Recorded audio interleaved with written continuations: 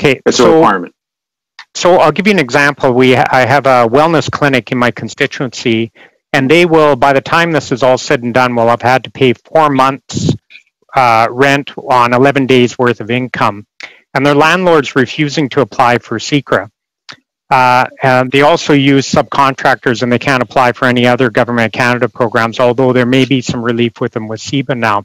So, what, what would I tell this this tenant Tammy uh, about what are the prospects for her with the rent relief program? Um, we believe that there's some misinformation about the program, and as I said, we'll be releasing details on the 25th of May. And in in in that information, because I've actually just approved the text of that release myself, it's now going through other processes. There's information as to what a tenant can do to talk to its landlord about um, why. That, look, the alternative is very expensive litigation and collection from people. Um, uh, unless uh, you know, in a healthy business, it would be irrational to not support a tenant.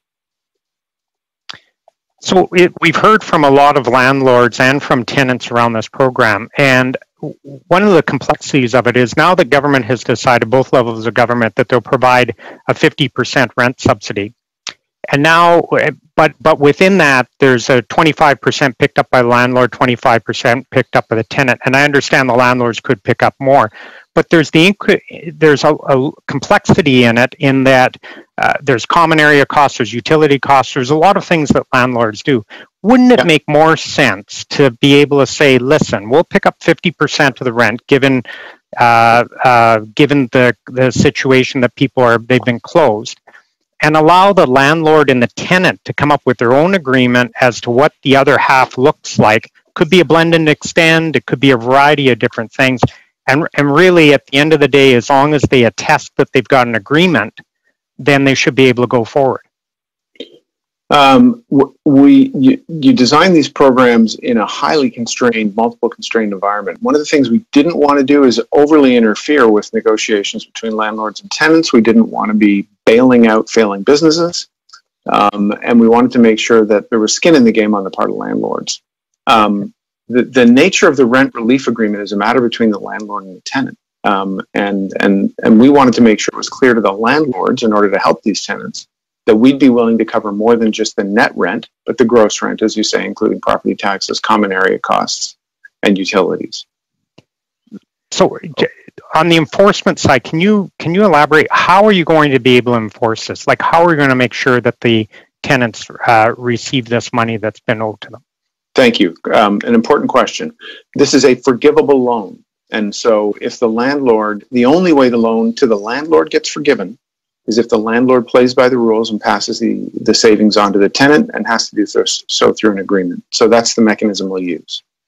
That all cleared up, James, because Yeah, we got, thank you. we, you. are over time, but and if you got a supplementary to finish this round, you're okay. No, I'm good. Thanks. Okay. All right, uh, Ms. Uh, Dzerowicz, uh, and then on to Mr. Morantz. Uh, Julie? Thank you so much, uh, Mr. Siddall. Thank you for being here, and thanks to Ms. Bowers for being here. Very important discussion. This won't surprise you. The number one issue uh, during the last campaign was affordable housing, and I'll tell you, with uh, with this pandemic coming out of it, it'll continue to be a, a top issue for the residents in my riding of Davenport. I will tell you that we've had a number of uh, nonprofit organizations uh, want to uh, help build uh, some affordable housing options in the riding, but they have found that it's uh, they found the process a little bit onerous, a little bit long, not easy to, to, to engage in.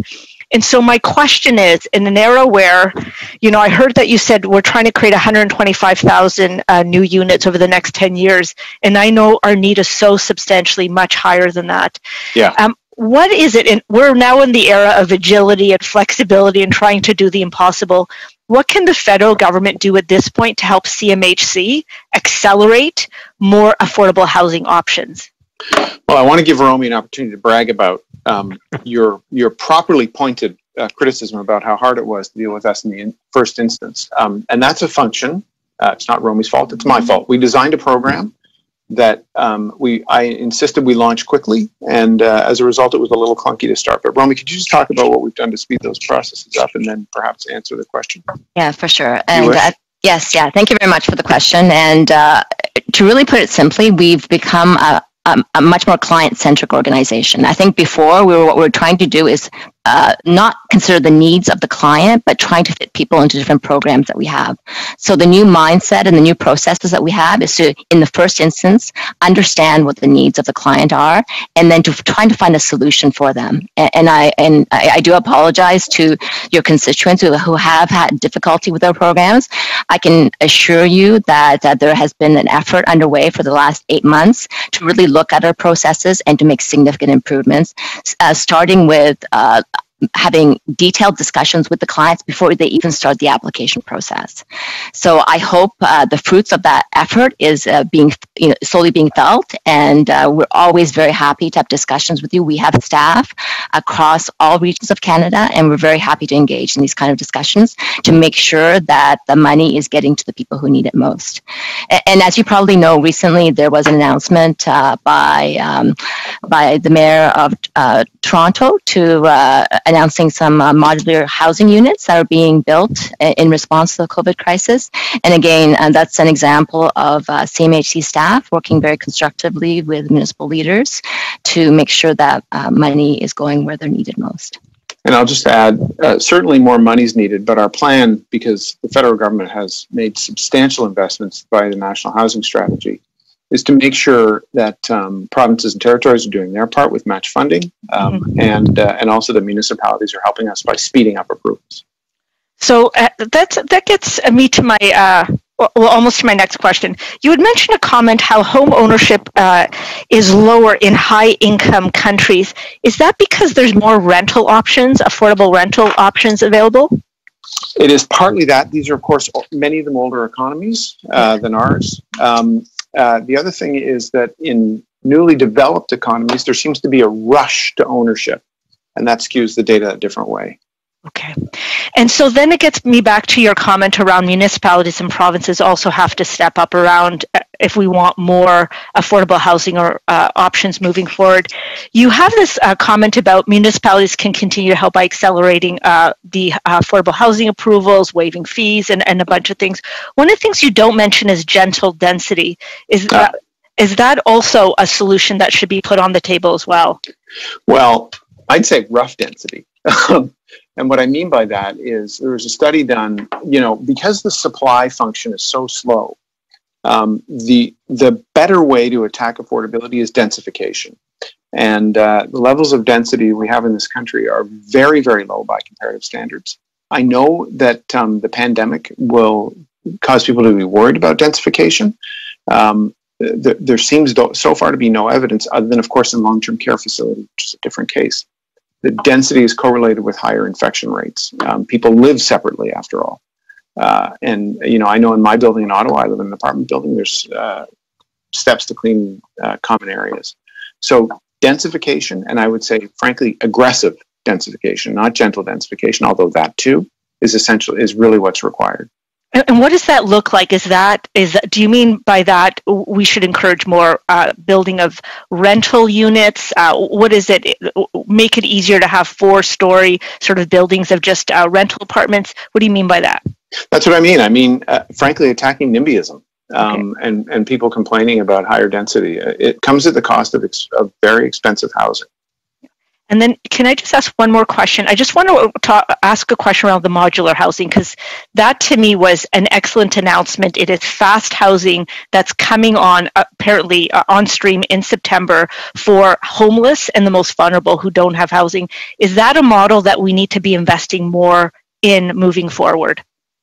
Romy, I'm going to give that one to you. The answer is yes. Yes.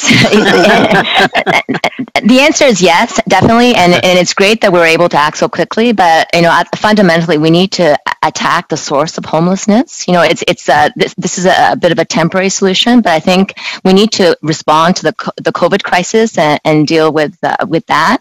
But I think we need to look long term as to how do we address homeless situation in a permanent way, so we don't have to be in the situation again if we, if we were to face another pandemic. I think that's that's okay. what we're trying to Thank you. Thank you. So uh, thank you all on that uh, round. Uh, Mr. Morantz, uh, followed by Mr. Fragiskatos. Uh, Marty? Thank you. Thank you, Mr. Chair. Uh, and thank you, uh, Mr. Siddall and uh, Ms. Bowers, for being here. Very interesting discussion. Um, Mr. Siddall, just going back to some of your opening remarks, you had indicated Yes. that 12% of insured mortgage holders had elected to defer. Yeah. Presumably, that means a large percentage of those would have been into default uh, had that not happened. There's also the issue of uh, the uninsured mortgage market, uh, which you, you don't have Yeah. anything really to do with. But um, there is likely, uh, similarly, I don't know the number, but a high level of defaults in that market as well. Do you have any uh, sense or idea of? Uh, now, also, you mentioned it's a temporary deferral, which means presumably these borrowers are going to have to pay at some point. Yeah. What, what do you think this is going to have in terms of effect on the foreclosure and, and mortgage sale numbers going forward? So uh, it's a complicated question. Um, mercifully, I get to think about it all the time. The 12% I gave you at deferrals is for insured and uninsured mortgages. So it incorporates numbers that we publish and those from the Canadian Bankers Association. Um, uh, some of that I- wouldn't associate even all half of that with uh, with losses or foreclosures. Um, people, this is people dealing with uncertainty and conserving cash, just like they hoarded toilet paper um, because they could, because banks were offering, and we were basically, if you said you're having a hard time, we said take a deferral. Um, and so that that compassion is what's happened. And and I've got to give the banks credit; they've done it on uninsured mortgages in addition to insured mortgages. And our two private competitors were lockstep with us: Canada Guaranty and Genworth Canada. Um, the, impact is going to be that th- those mortgage deferred payments are added to the principal outstanding, and so it increases our indebtedness. And that's one of the causes behind the numbers I gave you. Is that um, been agreed to by the banks, or is that is that the way what's going to happen? That they'll be That's capitalized? contractually. That's contractually That what they'll be capitalized. Yeah. Okay. Yeah. Um, now, um, you also mentioned in your opening remarks. Uh, uh, I want to circle around to a couple of things. Really, a few topics around cost. So, Yeah. Um, in the last number of meetings, we had the opportunity to talk to both the governor of the Bank of Canada and uh, Mr. Giroux, the PBO. Both have said that uh, they think interest rates are going to go up. Um, I'm curious to hear your thoughts on that as well. I know no one has a crystal ball, but uh, you know, I wouldn't over. I wouldn't substitute my views for those of the governor. yeah, those are those are pretty uh, pretty strong views. Uh, you did mention at the opening in your opening remarks that you wanted to look at adjusting your underwriting policies. I presume that meant to make them more strict, but I, I want to hear from you just to get clarification on that. Um, and also whether or not you anticipate CMHC premiums will go up for consumers as well. In other words, is it going to become more expensive and more difficult for Canadians to uh, attain the dream of home ownership, or is it going to become more difficult because of these factors? My, you can see my bodily reaction when I hear this dream of home ownership thing come up because that um, the, uh, that view, unfortunately, trees don't go to the sky, and what's going to happen is the musical chairs game is going to come to an end, and young people who are very highly leveraged, in fact, if they get an insured mortgage, they're borrowing at something like 83 or 85 to 1. Um, and that's before they borrowed their down payment from their parents or from their RSP or things like that. So, um, Well, let, Uh, us extract the dream of home ownership from my question so you're not stuck on that. And Yeah. If I could just get an answer uh, from you uh, with respect to the substance of the question. Yeah. So we are, uh, we can look at a bunch of things. We can look at pricing, certainly. We can look at uh, down payment requirements. We can look at credit score requirements. Um, all of those things are on the table. We're actually doing some work right now. And, I, and because we're doing that work right now, I didn't want to keep that information from the committee. And so I included it in my statement. We're talking to our board of directors this week about all those variables and what we can do. Do you think CMHC fees might go up?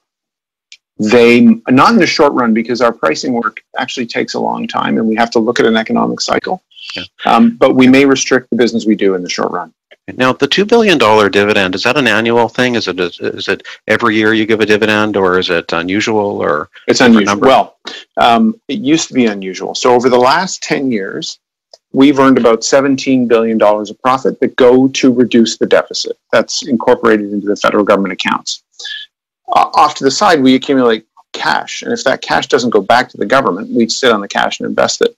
That's dumb because it can be used to repay debt. So we paid a special dividend. Uh, someone will correct me. Uh, two years ago, I think, of four billion dollars. Maybe it was last year, and we were scheduled to pay another two billion. In addition to that, we pay a regular dividend, and that's basically to just make sure the money goes to retiring debt instead of sitting burning money in my pockets, if you will. Okay. So, but the government would have received a two billion dollar dividend maintain that instead of for liquidity purposes. Mr. That's Chair, just uh, one uh, one other quick one.